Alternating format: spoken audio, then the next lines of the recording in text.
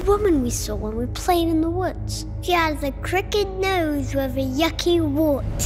It's just the long grey hair that makes her look old, but she's pretty young actually. She owns a black kitty. She built herself a shelter out of wood and pieces of old cloth.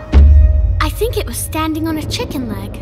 It's made of gingerbread chocolate candy and a lot of icing.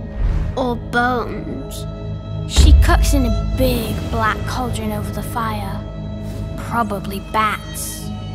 Spiders. Mushrooms. She can always smell a child when it's close. Always. You want to know if all of that was real? Well, even if it wasn't before,